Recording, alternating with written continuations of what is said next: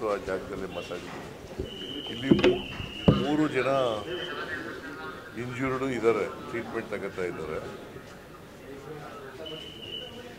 ನವೀನ್ ಅಂತ ಹೇಳಿ ಒಬ್ಬ, ವೆಂಕಟೇಶ್ ಅಂತ ಒಬ್ಬ ಇನ್ನೊಬ್ಬರು ಹೆಸರೇನು ರಾಜೇಶ್ ಅಂತ ಒಬ್ಬರು ಮೂರು ಜನದ್ದು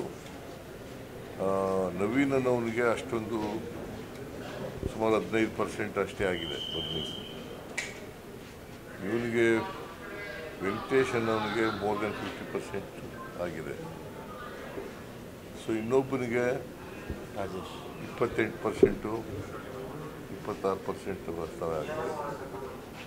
ನನ್ನ ಪ್ರಕಾರ ಸ್ವಲ್ಪ ಸೀರಿಯಸ್ ಇರೋದು ಇವನಿಗೆ ಯಾರು ವೆಂಕಟೇಶ್. ಅವನಿಗೆ ಅನ್ನೋರಿಗೆ ಸೊ ಎಲ್ಲ ಒಳ್ಳೆ ಟ್ರೀಟ್ಮೆಂಟ್ ಕೊಡಿ ಅಂತ ಹೇಳಿದ್ದೀವಿ ಬೆಸ್ಟ್ ಅವೈಲಬಲ್ ಟ್ರೀಟ್ಮೆಂಟ್ ಕೊಡಿ ಅಂತ ಹೇಳಿದ್ದೀವಿ and the government will take care of ಇದು ಎಕ್ಸ್ಪೆನ್ಸಸ್ ಎಲ್ಲ ಇಂಜೂರ್ಡ್ಗೆಲ್ಲ ಏನೇನು ಖರ್ಚಾಗುತ್ತೆ ಅದೆಲ್ಲ ನಾವೇ ಮಾಡ್ತೀವಿ.